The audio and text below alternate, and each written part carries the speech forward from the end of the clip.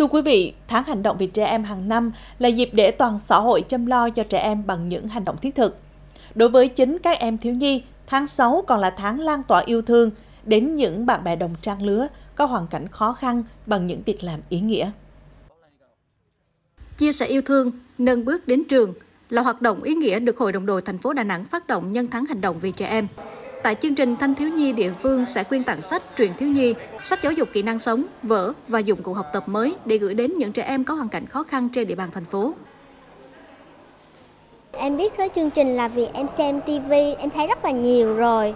và em rất muốn được tham gia để giúp các bạn nhỏ. Em mong muốn là các phần quà của mình có thể trao đến các bạn nhỏ vào mùa hè để các các bạn có một mùa hè thật là vui vẻ. Đây là lần thứ hai mà con tham gia chương trình này và khi đến chương trình này thì con đã mang tới những chú gấu bông và những quyển vở. Con mong rằng khi mà các bạn nhận được những món quà nho nhỏ này từ con thì các bạn phần nào cũng bớt đi những sự tủi thân, những khó khăn của mình và cảm nhận được tình cảm của tụi con đem đến.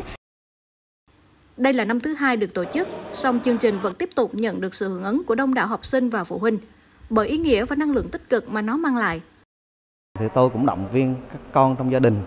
là cùng chung tay với tất cả các bạn học sinh trên địa bàn thành phố Đà Nẵng đóng góp à, những phần quà, sách vở, truyện tranh để tặng cho các bạn nghèo à, để cho các bạn có cơ hội được tiếp cận nhiều thông tin đồng thời có thêm cho các bạn có thêm một cái à, các cái nguồn động viên giúp các bạn tiếp tục phấn đấu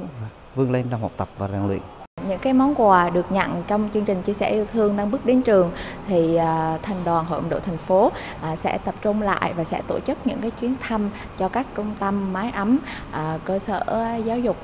cho thiếu nhi có hoàn cảnh đặc biệt.